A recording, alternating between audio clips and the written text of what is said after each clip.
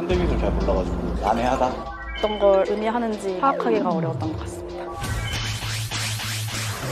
First question.